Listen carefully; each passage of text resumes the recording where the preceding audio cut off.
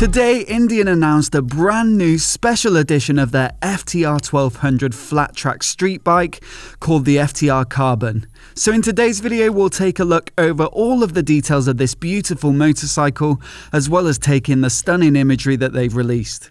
But before we get started, if you're new here and you want to see more of the latest bike launches and motorcycle news, then please do remember to hit subscribe. Here's a bit of background about the FTR 1200 first in case you're not already familiar. It takes a great deal of its inspiration from Indian's FTR 750 race bike, which has been prolific in American flat track racing with three Grand National titles in a row. In 2017, Indian released the FTR 1200 custom concept, which added a bit more capacity and street legal equipment to the race bike before the full production model finally surfaced in 2019. The 1203 cc liquid cooled 60 degree V twin is somewhat related to their Scout engine, although Indian claim that only 20% of the parts are in common, with 80% new for the FTR.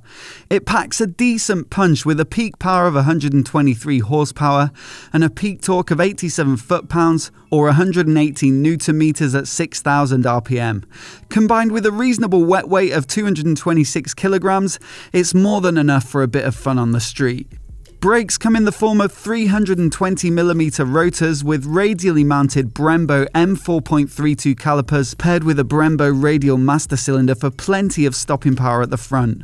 On the S model, fully adjustable 43mm upside down forks and a fully adjustable rear shock, both manufactured by Sachs, should make for a bike that handles too. And the electronics are up there with any 2020 premium naked sports bike with a Bosch IMU that enables cornering traction traction control and ABS. There's also engine braking control, cruise control, a 4.3 inch TFT touchscreen dash with Bluetooth phone connectivity, a USB charging port, and LED light in both front and rear. I was fortunate enough to ride the FTR 1200S recently after I borrowed one for a day from Crazy Horse London. Personally, I loved how aggressive it felt, especially when you consider that it's built by a company that primarily makes tourers, cruisers, and bobbers.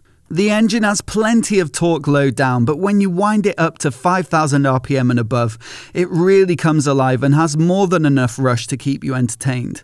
The brakes are excellent, and although the suspension is pretty firm, it's a sharp handling bike because of it, as well as the underseat fuel tank keeping the centre of gravity low.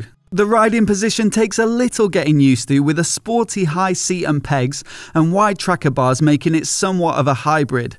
The throttle is a bit choppy, especially in sport mode, and the rear wheel doesn't have the most grip on a relatively narrow semi-knobbly tyre, but combined with the styling, some of these flat track inspired features give it bags of character. There's no other bike on the market like the FTR and that's what I really enjoyed about it.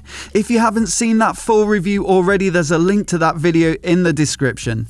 The best way that I can describe the FTR Carbon immediately is to imagine Triumph's TFC treatment on the FTR 1200.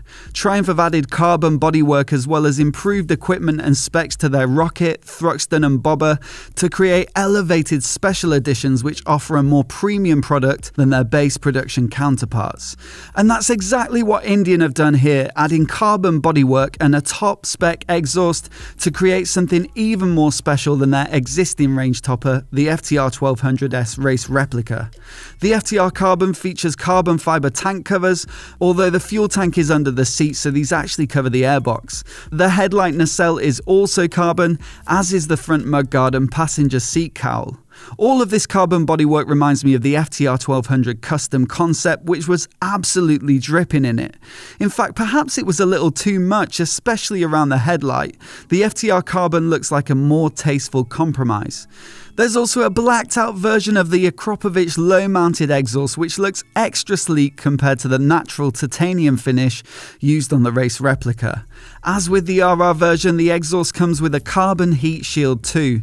Lastly, there's some carbon branding and red lettering in the center console, which is a nice finishing touch. I wouldn't want anything too garish here, but the grey carbon logo on black background is sufficiently subtle. These extra touches are all on top of the spec of the race race replica version, so this really is the most premium FTR you can buy. To my eye, the carbon looks great and really gives it that race ready look.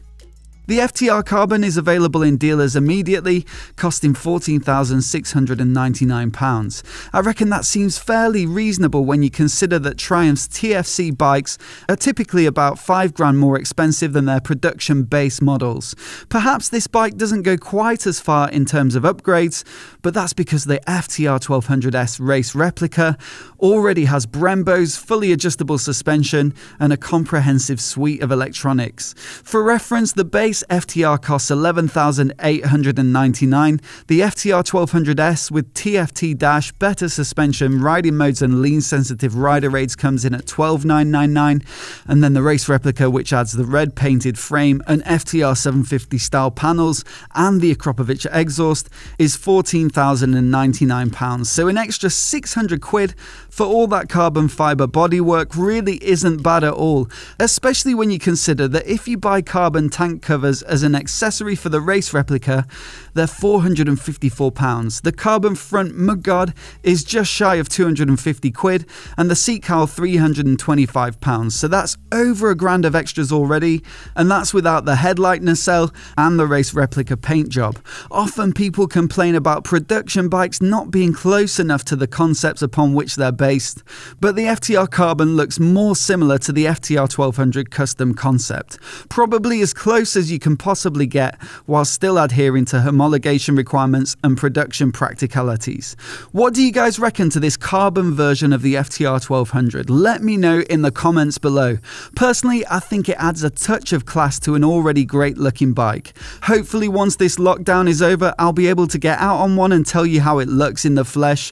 But do let me know what you think of it. I always enjoy reading your comments. And if you're new here and you want to see more videos like this, hit subscribe and I'll catch you next time.